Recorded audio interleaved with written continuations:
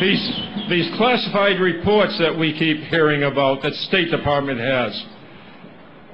Already, the seniors of the CIA and the FBI has clearly stated there is no critical, good information, and yet the State Department clings to it. Let's remember, this is the same State Department that paid Chalabi $33 million to provide misinformation that led us into the war in Iraq in the first place.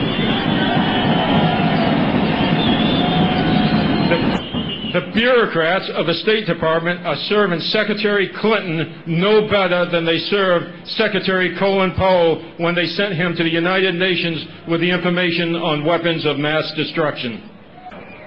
And I have yet to figure out why the MEC is being placed and left on the terrorist list when Muqtada Sadr and his Mahdi army is not on that terrorist list.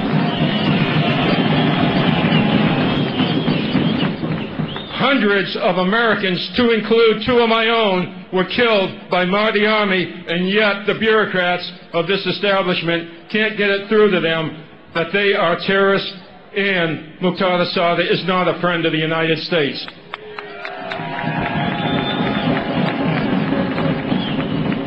When our founding fathers built the Constitution, they put the legislative branch of government first because that represented the will of people. The executive came second to carry out that will. State Department wasn't even mentioned in the Constitution. And the judicial branch was mentioned, was stated third to ensure justice was done. Yet, the State Department has ignored the Congress. Recently, at congressional hearings, they were too busy to even send a representative. And they are now six months overdue in complying with the judicial branch.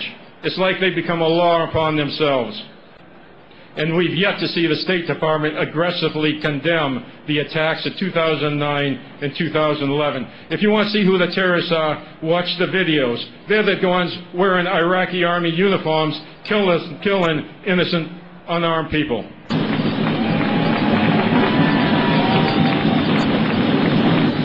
We have three actions for solution. One, let's get the MEC off the terrorist list. They never should have been there in the first place. Two, let's have the MEC secured by U.S. forces, and I am willing to put a uniform back, over, back on and go back over there and lead those forces.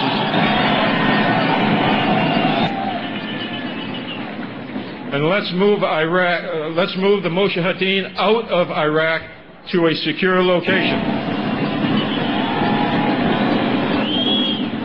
To my friends at Camp Ashraf, I close with this message. We were together in the last decade.